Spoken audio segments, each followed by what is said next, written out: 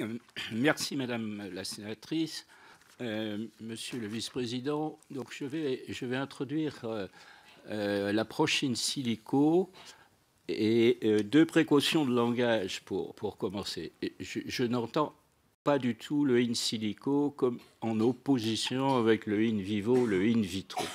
Il faut tendre au contraire vers une intégration de ces trois approches dans un cercle que je dirais vertueux et synergistique.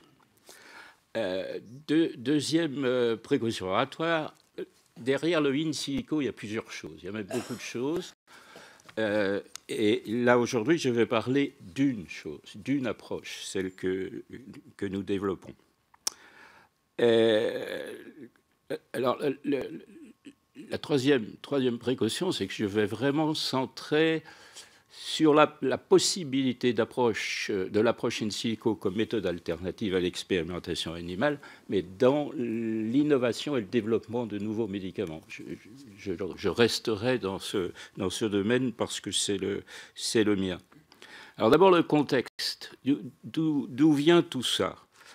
D'abord le, constat que les systèmes vivants, euh, les systèmes biologiques sont des systèmes complexes, c'est-à-dire au-delà du fait qu'ils comportent de nombreuses composantes qui interagissent d'une manière quantitative, ils sont pleins de redondance et de, et rétroaction. Alors, c'est un truisme. Il n'empêche que ce truisme, on l'avait un peu oublié, et il a fallu euh, un numéro spécial de la revue Science qui est sorti en 1999 pour dire attention, euh, le tout réductionnisme nous, emmène dans le mur et il faut trouver des méthodes intégratives. Été le début, on peut, dire que c'était le début de, la réflexion que je, vais, vous présenter ici.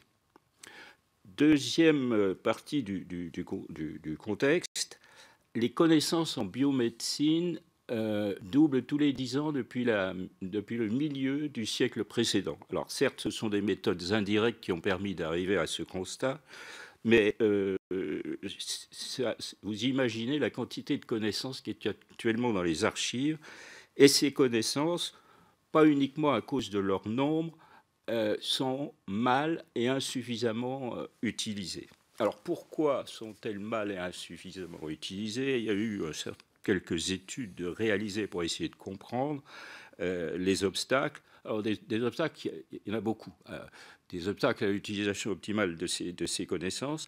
Il y en a une qui est, assez fondamentale parce qu'elle euh, est à l'intersection de pratiquement toutes les autres, c'est la représentation de ces connaissances. Alors, on sait, on sait la, représentation discursive, qui est, la, plus fréquemment utilisée. On connaît la représentation graphique, qui est toujours en développement. On fait encore des progrès dans la représentation graphique des connaissances, mais euh, ces deux, ces, deux approches restent insuffisantes pour nous permettre euh, d'actionner ces, connaissances. Et c'est la représentation mathématique qui, qui est venue à l'esprit comme le, le, moyen euh, de, de, représenter sous une forme actionnable, c'est-à-dire permettant des, simulations, euh, les connaissances euh, disponibles. Dernier, dernier élément du contexte, alors qu'il n'a pas grand-chose à voir directement avec euh, ce que je viens d'évoquer concernant les connaissances, c'est la diminution linéaire depuis pratiquement 20 ans de l'efficience de la recherche pharmaceutique, de l'innovation et, du, développement. Et le, fait que cette diminution vient en partie du manque de prédictivité de deux étapes clés dans, ce, dans cette, euh, RD. La première étape, c'est le préclinique dont on, parle ici. La deuxième étape, c'est la phase 2. Donc, on recourt au formalisme mathématique pour représenter ces connaissances. Alors, comment ça marche? Très brièvement, on réunit les connaissances euh, qui semble nécessaire pour comprendre un phénomène d'intérêt, une maladie, c'est ce qui nous concerne ici. Ces connaissances vont être évaluées et en particulier, euh, on va leur euh, donner un niveau de preuve, puisque malheureusement l'activité scientifique n'est pas dénuée non seulement d'incertitudes, bien sûr, mais aussi d'erreurs et même d'un fox. Et à partir de là, on va transformer ces connaissances en assertions. les assertions, c'est la, plus simple assertion, c'est par exemple la protéine A phosphoryle la protéine B. Alors, à côté pour cette assertion, en dehors du niveau de preuve, il y a bien sûr des problèmes d'annotation, je, passe, et ces assertions vont être simplement transformées en équations, et ces équations vont être réunies, toutes les équations qui concernent les assertions concernant une maladie vont être réunies dans un système euh, d'équations euh, transformées en ligne de code euh, que l'on va, on va valider ce modèle. on va ensuite faire des, des, simulations pour répondre aux questions qu'on s'était posées au départ. Alors bien entendu, ce processus a des limitations. La première grande limitation, c'est que un modèle, quelle que soit sa nature, ne représente pas euh, le, réel, il n'est qu'une euh, qu'une face ou un aspect biaisé du réel. Il y a d'autres limitations sur lesquelles je, pourrais revenir si, vous le souhaitez.